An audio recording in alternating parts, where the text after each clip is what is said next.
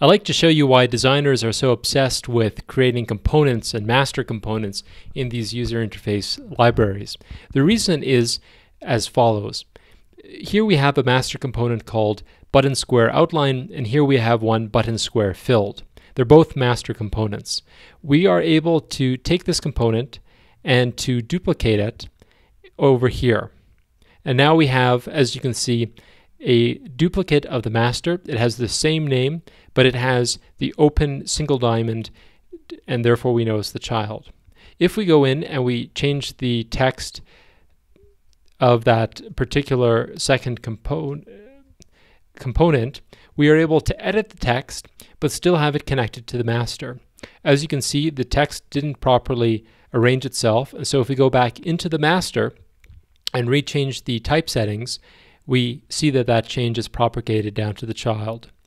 The same can be said for this button here. We have now duplicated the master, and there's another way which we can do that, which is to search for in our asset library as a designer and pull out that other asset, which is our master component. This asset library essentially shows us all of our master components, and we can select it, drag it onto the canvas board, and now we have an identical component. And of course, we can go in and we can change the text. We can go in back to the master and change its properties.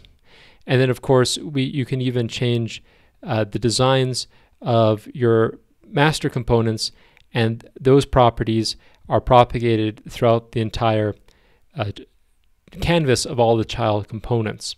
And so this is why designers are so obsessed with trying to create masters and trying to use subchildren of those masters uh, components is because it just makes it really easy to change your designs.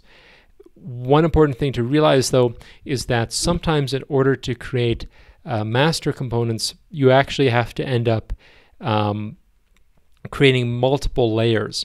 And so this might mean that you uh, see many layers within a component and sometimes they don't do anything. Sometimes those are just containing layers which enables you to contain within one master component several other uh, subcomponents which it's using.